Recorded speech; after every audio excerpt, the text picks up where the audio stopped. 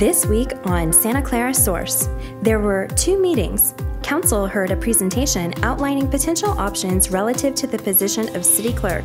The options include Council may appoint a city clerk under Charter Section 703. Council may place a charter amendment eliminating the city clerk as an elected position.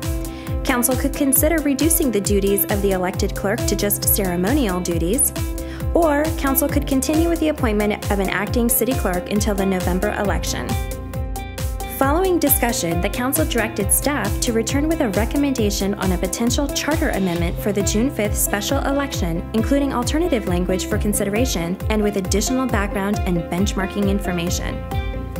In the second meeting, the Stadium Authority heard a report from Public Dialogue Consortium regarding community engagement efforts related to Levi Stadium, Public Dialogue Consortium will utilize four different methods to engage community members, including focus groups, community interviews, community meetings, and an online platform.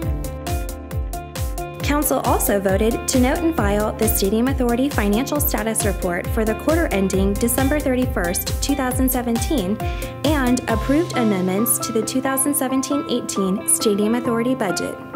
That's all for this week. Please join us for our next City Council meeting on February 20th and our next Stadium Authority meeting on February 27th. Don't forget to like, follow, and subscribe to all of our social media channels.